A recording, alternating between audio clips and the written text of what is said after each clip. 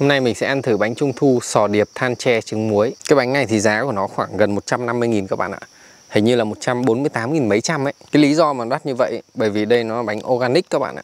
Tức là bánh hữu cơ ấy. Kiểu như là không chất bảo quản, Không à, chất tạo màu.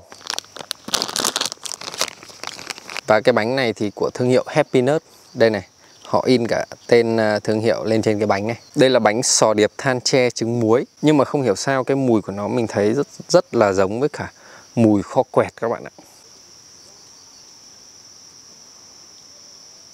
Cái bánh này thì mình nghĩ là các bạn nên dùng dao cắt, chứ còn bẻ như mình thì nó sẽ bị à, kiểu như là một bên thì nguyên quả trứng, còn một bên thì không có miếng trứng nào.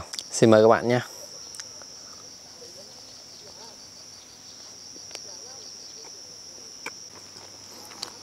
Vị rất là ngon.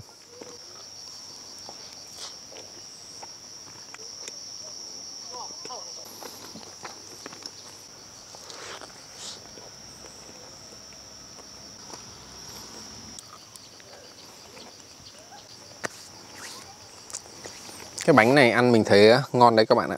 Về cái mùi của nó thì ờ, nó giống cái đồ ăn mặn ấy, nó giống kho quẹt ấy. Chắc là bởi vì đây là bánh organic cho nên họ không sử dụng hương liệu. Cái mùi của nó là cái mùi tự nhiên. Về phần bánh thì ờ, mình thấy bánh ăn mềm, dẻo. Bánh có vị mặn và vị ngọt.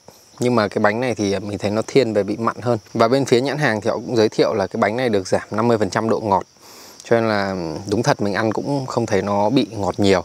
Nói chung là ăn rất ok. Mỗi cái là giá của nó gấp 3 thậm chí ờ, gấp 5 lần một cái bánh ờ, trung thu bình thường.